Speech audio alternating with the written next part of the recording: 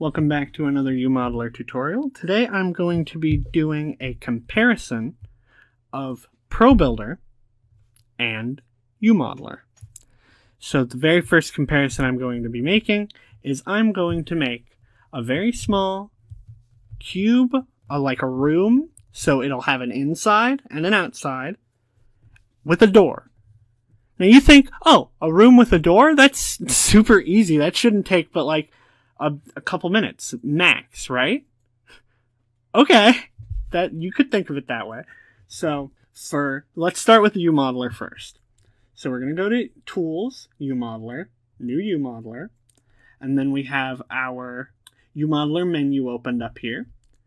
And to and to make a room, there's actually a special shape for it under primitive shapes. So we're going to click room. Here we can select the width, the depth, and the height of the room if we want to build it just all at once. Or we and we also can select the thickness uh, between the inner and outer walls. It's like the space between them. So I like making this a little bit bigger, so I'm going to do 0.1 for that. So I actually like drawing the room as opposed to using the one-click build, but we could use one-click build. And then all you got to do here is just draw the room. I think that's a good size. That's a good size. So now we have already we have a room with an inside and an outside. Now we want to make a door. All right, that's pretty easy. All you got to do is in the UModeler menu, go to the drawing tab, select rectangle, and then we can take our cursor here, make a little door. Doesn't have to be perfectly symmetrical, though we could make it perfectly symmetrical if we wanted to, since UModeler has some pretty good grid features, but I don't want to compare the grid features right now. So now we have a door cutout. Now if we now if we want to make that door into a hole that goes into our our room here, all we got to do is hit Shift E, which makes our push pull tool open here, and then we just push forward, and now we have a now we have a box, little room here with the door.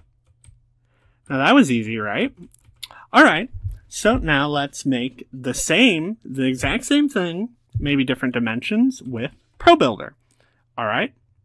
So we'll go to Tools, ProBuilder. We'll open the ProBuilder window here. Just put it right there. We're going to leave it at icon mode just because I'm more familiar with icon mode personally. So what we're going to do is we're going to hit Alt and then click the Create Cube button. And now here we have a, a little cube. So we can do what we want with this cube. We can set the dimensions. So I'm just going to do 5, 5, 5. Eh, maybe a little bigger. I'd say that's about a comparable size. Now we could also modify this by using the tools up here. So we're going to hit done. So now we have this little room, or, well, we have a box. Does not have an inside. So we have a box that has an outside.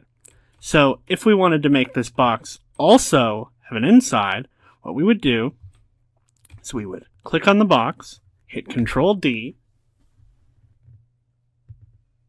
That duplicates the box.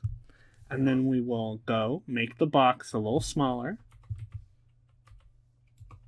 Just do 0 0.9, 0 0.9, 0 0.9. All right. And now that the box is a little smaller, we will go here to the Flip Object Normals button. And now we have a room. All right. Now, let's just say we want to make a door. So we will go to the Face tool, select the face that we want to make a door for, select the interface where we want to make the door for. So to do that, just hit shift, hold shift. And now we go hit R for, for scaling. And then we'll hold shift, which will kind of add a new extrusion here. And then we will shift down a little. All right, that's good door size. We'll move that down. All right, that seems pretty good for a door. And now, if we if we if we wanted to make this into a door, what we have to do is we have to shift, move these in. All right, and now what we have to do is we have to delete all of these faces. And then we, once we select all the faces, we hit delete faces.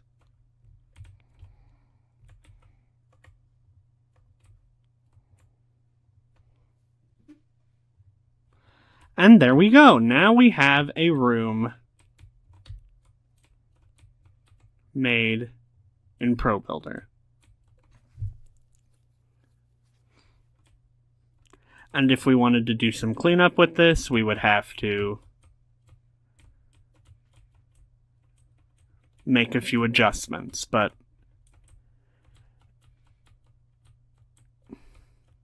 in general, that's pretty much how you do it.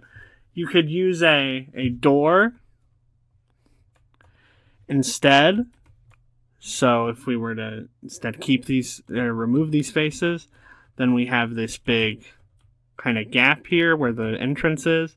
So what you can do is you can create a door if it'll open up the window. All right, there we go. And then we can go door, move that door over to where our door goes.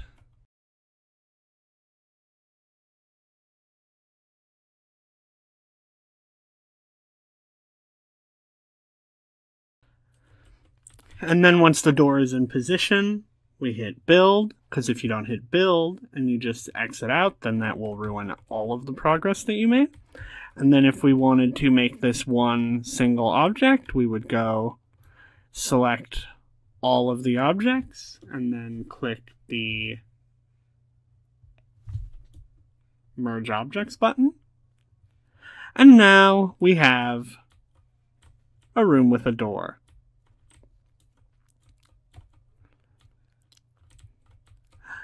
There might be better ways of doing it in ProBuilder, but from all the tutorials that I've seen and how I learned how to do it, that's how you're supposed to do it. So if you if you think about it one way, yes, ProBuilder is free.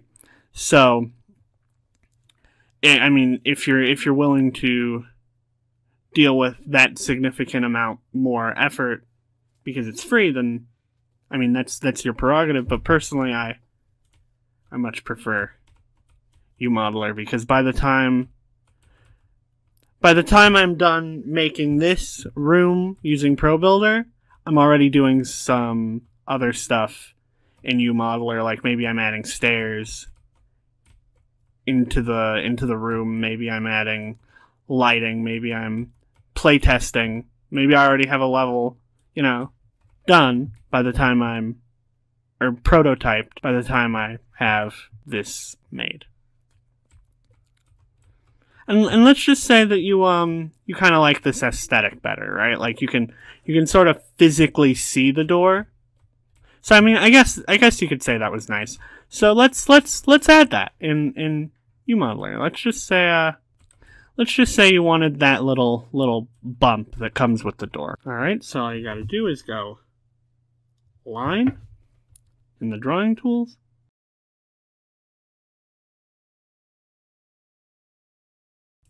Now we have two rooms, both with little bevels for where the door goes, and one of them took significantly less time than the other one.